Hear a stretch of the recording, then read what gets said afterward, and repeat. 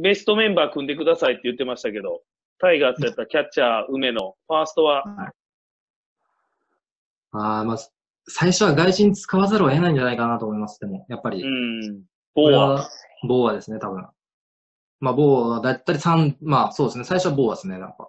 うん。で、セカンド、ショートは、まあ、糸原、セカンド使うんですよね。やっぱあの、去年やっぱ、ぱり130、40試合ぐらい出てますし、もう本当プロ野球選手っぽい選手ですし、小力もあるね、彼は。小さいけどパンチもあるし、もうあの、すメンタルもやっぱり野球選手っぽい。強いね。はい。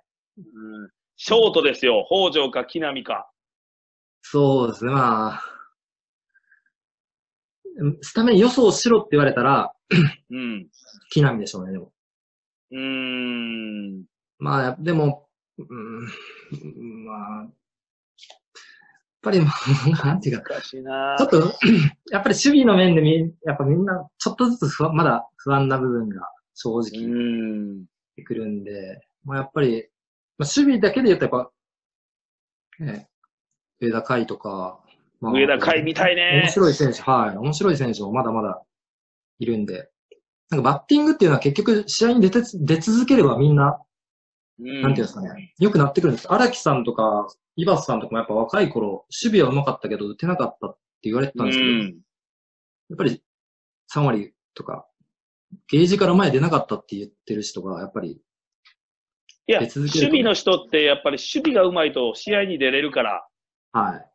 守備がよくと出れて慣れてくると結果打つようになるからね。はい、そうなんですよ、結局。うん。まあだから、うん、上田海みたいよね。そうですね。やっぱバッティングで選んでしまう選手が阪神今多いんで、やっぱ打線、うん打力をメインでやっそうなるとやっぱりセンターラインでどっかでピシャッとししてほしいなっていう部分はありますよね。うーん。なるほどね。その中で言うと、あの、尾形選手っていう次世代もありますけど、どうですか？尾形。尾形？じゃあ、尾端、尾端。あ、尾形、尾端。楽しみです。あ、もう楽しみです。本当に。えっ、と、まだ若若いですけどね、やっぱ、高卒2年目ぐらいかな。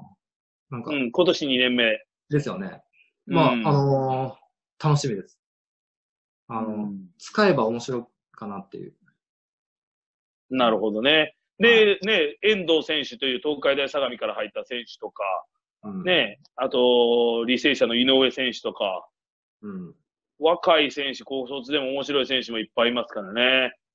そうですね。まあ、本当にいろいろ。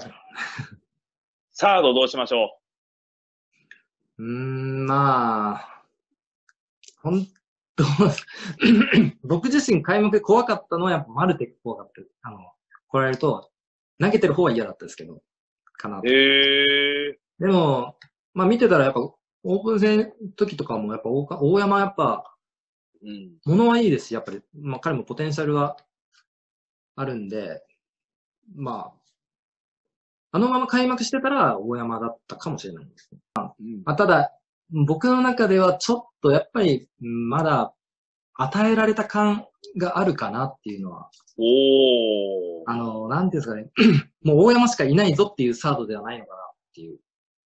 自分でやっぱりポジションを取っもう俺しかいないんだっていうアピールの仕方取ってこそやっぱりレギュラーになるべきかなと思ってるんで、うん。ちょっとやっぱ去年のだ感じではもう、ね、やっぱみんなどうですかっていう風な入りになるじゃないですか。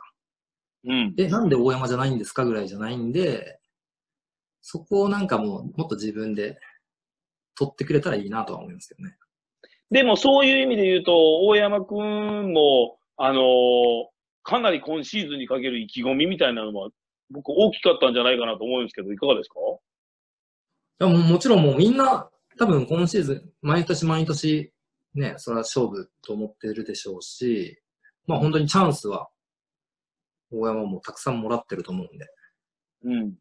こで今年バッてやったらもうレギュラー確定ですよね。まあ来年からはまた。ですよね。はい。さあ、外野ですよ。なんか、あのー近本くん一つだけしかないように、糸井福留って言うけど、僕はもう本当高山を使ってほしいんですよ。そうですね。まあ僕も入った頃はやっぱりバッティングが天才的なものを持ってるなと思いました、高山は。うーん。うん、まあでもやっぱりんチャンスがなくて掴み取れなかったわけではないんで、うん。まあ、それがやっぱプロの厳しさですね。なんか使ってあげてほしいっていう考え方はちょっとやっぱり甘甘いかなっていう。